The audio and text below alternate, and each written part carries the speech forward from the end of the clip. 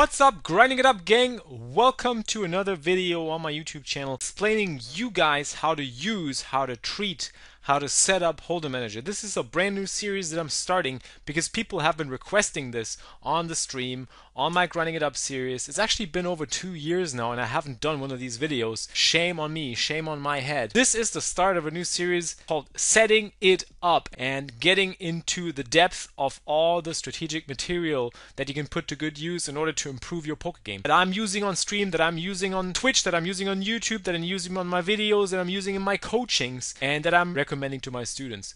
In the first episode, we're going to check up on Hold'em Manager 2, which has been a tool that I've been using for almost my entire career. I actually can't think of a time where I wasn't using it. Maybe in the first days I was using Poker Tracker 2 was. I was using Hold'em Manager 1, which was a little bit brighter, and they had these white graphs. If you Google you find some of my old graphs which have been produced with Hold'em Manager 1. Then they brought up Hold'em Manager 2 and I switched to it. Without these tools, I wouldn't be the player that I am today.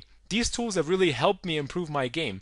Not because of the HUD, don't get me wrong. Over the years of playing poker online, I've been importing millions and millions of hands into all my tools. Hold'em Manager 1, it was Hold'em Manager 2, Poker Tracker 2, Poker Tracker 3, and now Poker Tracker 4. Even though they're split into very many parts, I can review them and check up on my game and see how I've been doing, what I've been doing wrong, what I've been doing right. I can go and set filters. I can do all sorts of different things, and I want to show that to you what you can actually do with these tools in order to analyze and review your game. This is the stuff that really helped me to become the player that I am.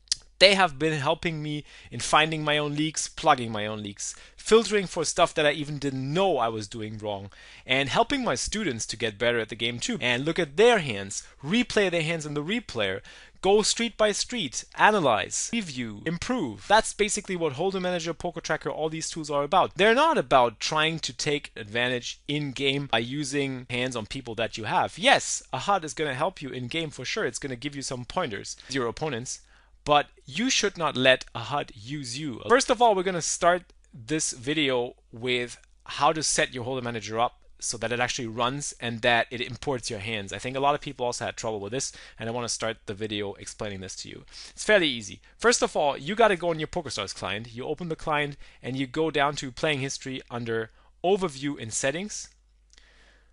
So first of all, you have to open your PokerStars client. You go to settings and then you click on overview and you check your hand histories here. And you have to define a folder where PokerStars saves your hand histories.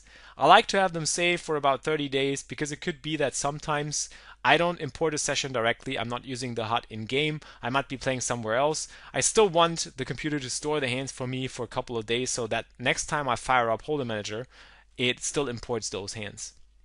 Also make sure that the language is set to English. If it's set to another language, it might not import. A lot of people have trouble with having the language set to German and then not having Hold'em Manager import the hands. All right, so we got the GIU 2015 folder set up here. Right, then you go to database. I highly recommend that you split your databases into different years or even months because databases can get quite large. As you can see here, my Hold'em Manager database actually is 6,000 megabytes. And that can happen quite quickly if you play a lot of volume, if you play a lot of hands. So it really makes sense to split them up by years or by even months.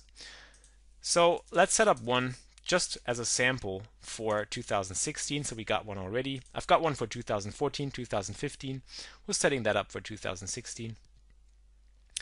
And if we want Hold'em Manager to, to import into this, we have to set this as a default database. So we just click this icon. Are you sure you want to change the active database? And you change in the active database to Grinding Up 2016. Actually want to find the folder that you set up in PokerStars. So you're going to go plus and find the GIU 2015 folder on the poker GIU 2015. And what you could also do is, in case you have any other subfolders, any other folders where hands are being stored, or when you request hands and they're sent to a different folder, you can do the auto detect, and then it'll automatically find all other folders that are also associated with this. Right, so now we should be all set, and we can try this out at the tables and see if that's actually worked. So we're going to open a table here, a regular one and a Zoom Poker one and see if that has worked. That's the one sent to send Zoom pool, so we're going to join that. And as you can see, the Hold'em Manager HUD already pops up here. This player, Jabuha, he's already been recognized. For four hands, we have a couple of stats on him. All looking good. Let's see bet here. All right, let's check for the Zoom HUD if that's going to work. So as you can see, once we join the zoom table, we already see that this has been recognized and the player is in the right position, the right seat. If it isn't the case, you can always readjust the settings through preferred seating mode here if you click on this icon up here. Let's re-raise this 10-9 suited because it's such a pretty hand. And when we now check back with Hold'em Manager, we can see that our session, our game, and our hands have been imported. In the graph tab here, or if we clear the filters on this one, we see that we've played 22 hands and we'll find this 10-9 suited hand that we just 3-bet. Look at this. Here we go. And he just folded. Let's move on to my HUD. I'm using the grinding it up HUD as you already saw. If we open the zoom table again, you will see that if I join this pool, it'll automatically be this HUD that I have here and it'll say grinding it up. This is my HUD that I've specifically designed and adjusted over the years and I've been using this for ages basically since I've actually started and I've improved it and improved it and added some pop-ups. First line is all about the VPIP and the preflop raise. line uh, next stat is going to be the 3-bet percentage and the fold to 3-bet percentages.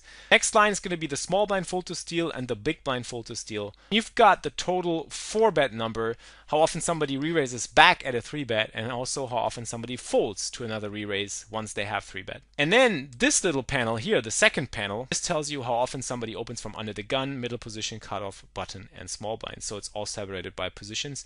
That helps a great deal. Then we have the pop-ups. Uh, it's a little bit more detailed, so you can basically see all the different numbers by position, how aggressive somebody is on each street, how often somebody three bets in different positions, under the gun, middle position, cutoff button, small blind, and so forth. Let's move on. We've basically set up Hold'em Manager. We've checked out how to import and set up the HUD. Now let's get into reviewing our game, analyzing our game, and hopefully improving our game. What I do is I go to reports and I check out different stats sorted by different levels. You have different tabs up here which you can change. You can basically add more reports as you like, graph your progress as you've played. So for instance, last month at 50 no limit, if I want to filter, but I can also do different filters and just set this for my 2NL graph, for instance, and take all dates, take all my 2NL hands graphed into one big graph. Let's check this one out. That's not it. There we go. Looks neat, but pretty big break even and downswing stretches. You also have options down here Weekly also display your showdown and non-showdown winnings. Some people are really fond of this and want to analyze this. I don't really think it's a good idea. I've talked about this and grinding it up very, very many times. I think it's something you should not concern yourself with. What's really important is the green line. As long as you're turning a profit, this should be nothing to worry about. The red line is going to go down because we are basically playing a showdown oriented style at these micro stakes levels. Also check your all in EV, which tells you how good or bad you've run, but that doesn't matter. In the long run, this will all even out. You will see these curves basically approaching each other over time. So for instance, in this c-bet success tab, it's quite interesting to see how often you've actually fired c-bets on different board textures. You can see that, for instance, on 9 high less rainbow boards, I've actually fired quite a lot. As you can see here, the most successful c-bet rate I produced on queen high boards and um, on king high boards. It's quite interesting that on ace high boards, my c-bet success rate isn't all that great. And the same applies to especially the low card boards and the A-side two-tone boards with a flush draw on board. So it's probably very likely that I'm c-betting too much in these and I should slow down with most of my bluffs because people seem to be calling a lot. My success rate is not very high. So then the overall one can be filled with different stats. You can see your own VPIP. I'm actually quite loose, 30%. Preflop raise 24, that's quite a bit.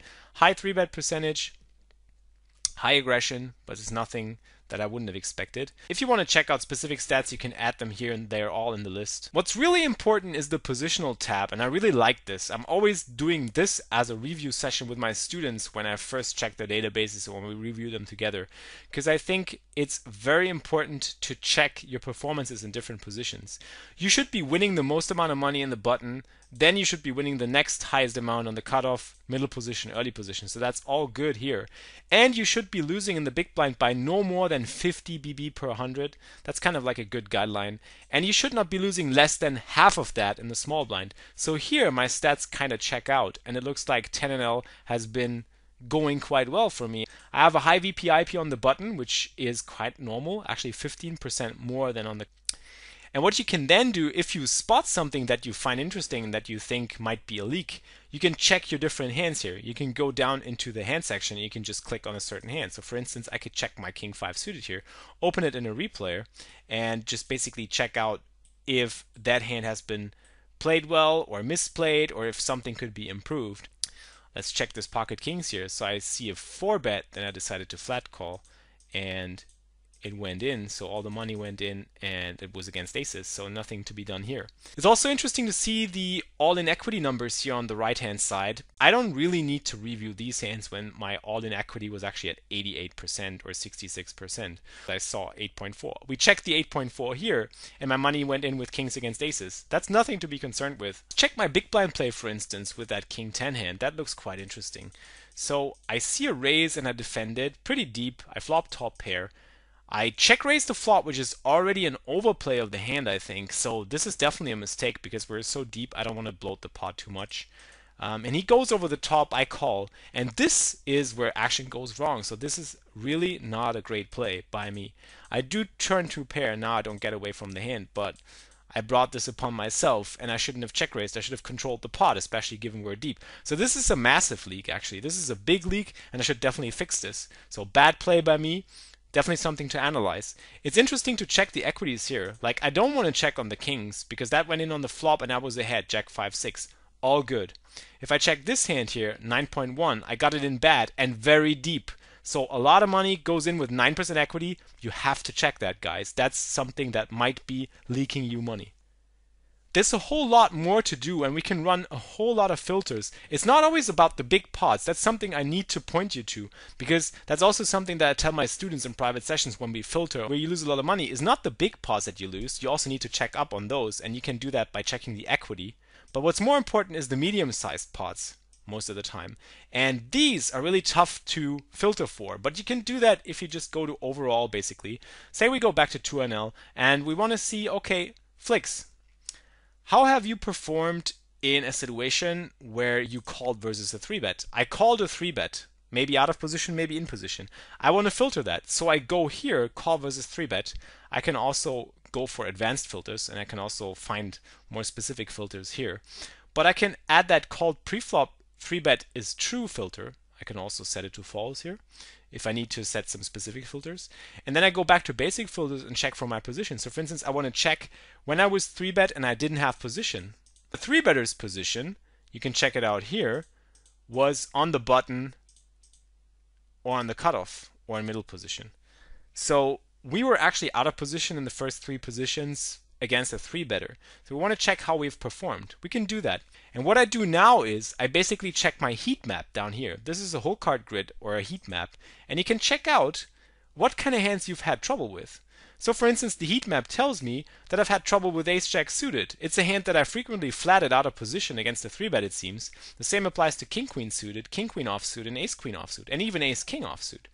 So even those marginal hands and even the suited connectors here, they cause some trouble. So I have to check. So let's see here. I opened with ace jack suited. I got a big three bet here and I decided to flat call.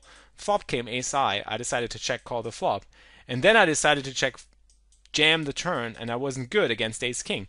So if that frequently happens, I need to check my stats, how I perform with medium strength aces in three bet pots. I should probably be able to get away from these hands more often against high aggression from tighter three betters.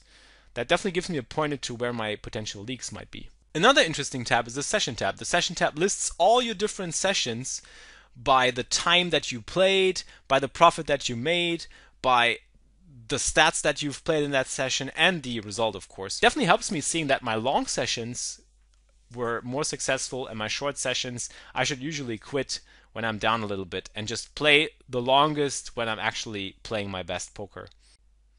So as we can see, if we filter that, we see that my optimal session length is probably somewhere between three, two, three, and four hours. Like all the winning sessions are two, three, or four hours.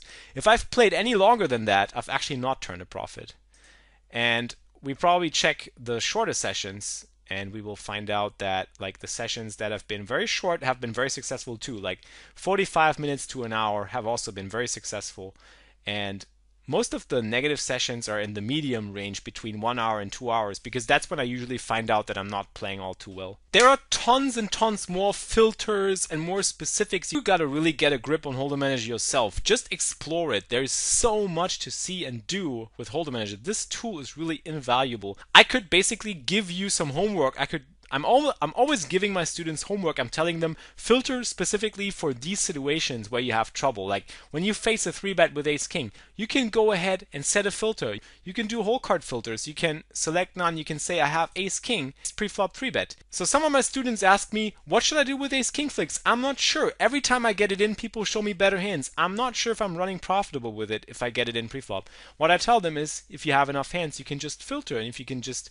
make yourself aware if that's a profitable player or not. And if it is, then you know the baseline is profitable and you can deviate from it if you need to. I really hope you enjoyed this little video. It's only starting to give you some pointers and you gotta explore it yourself. I hope you're very successful with this. If you want to get Hold'em Manager on my site, don't forget you get the yellow guide for free. Just send me an email and the receipt of your purchase with the link, with the affiliate link, and I'm sending out the yellow guide, which gives you some more insight into a lot of these topics as well, especially regarding the HUD and the explanation of the stats and the mathematical thresholds of each stat where it starts to get profitable to re-raise somebody or to fold or to exploit them by stealing their blinds more often and so forth. If you liked the video, don't forget to hit that thumbs up button as always with my videos. And I'm going to continue on this setting it up series with Poker Tracker and then with other softwares that I'm using in order to improve my game, review my game, and get better at this. In the meantime, all you got to do is keep filtering and keep grinding it up, everybody.